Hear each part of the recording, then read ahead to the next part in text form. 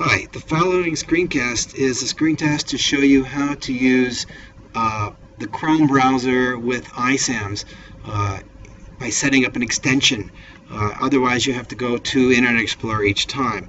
So what I'm going to do is I'm going to show you what it does. I'm going to open up uh, my Chrome and you'll see that over here I can use iSAMS within Chrome. Uh, but I need an extension. This is what this screencast will do. Okay, you'll need to open up Chrome and you'll need to put this shortened uh, URL or web address into your browser. So uh, this will be attached to the email. Uh, you can just copy and paste that into your browser. There's the web address. Hit enter. And that will take you to this extension called IE Tab multi-enhance. Now I've already added it to Chrome, but you'll see a button there that says add the extension, so go ahead and do that.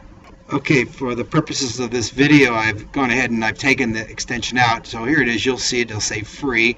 I click free, it's going to check, and I have this little box here to add IE tab multi-enhance. I click add. You'll see the blue box says checking, and then I've added it. It's now in. So I'm just gonna, this is the, the uh, window that will pop up. I'm just gonna use this default uh, and just save it right here on this button there. I've been saved and I can close that out and I now maybe want to check to see if it's in there so I click over here this you don't have to do but I'm going to click here go to settings and then click on my extensions and I will see that it is in there IE tab multi-enhance okay now I want to set up my computer so that it opens uh, in Chrome. So let me close it, all these out here.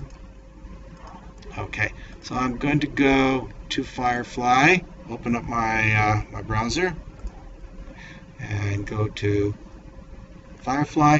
Okay, you see I've already, actually already have it set up here, but I'll show you how I get there. So, uh, once you're here, you, uh, actually I think I'll take that out.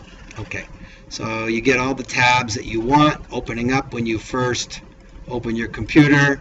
So I got my old Teacher Center, my Google Drive. So from Firefly, I click on iSAMS login. Okay, it'll tell me that it doesn't support it.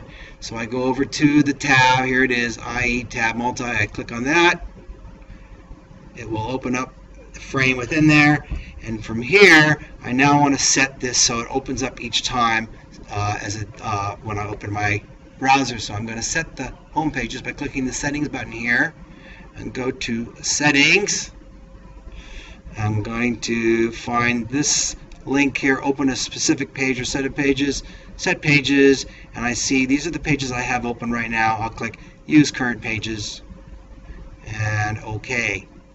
So close everything out and let me test it out. Okay, go to Chrome.